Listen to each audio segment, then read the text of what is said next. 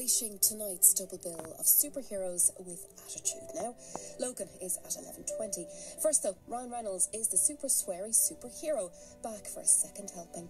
With very strong language and strong violence from the start. It's Deadpool 2, here on Film 4.